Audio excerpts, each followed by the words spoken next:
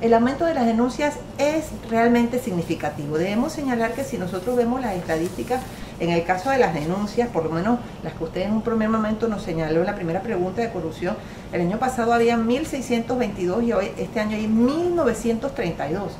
Inclusive el año pasado debemos señalar que dentro de las investigaciones que se tenían de delitos sexuales, las investigaciones totalitarias, mire, en el 2019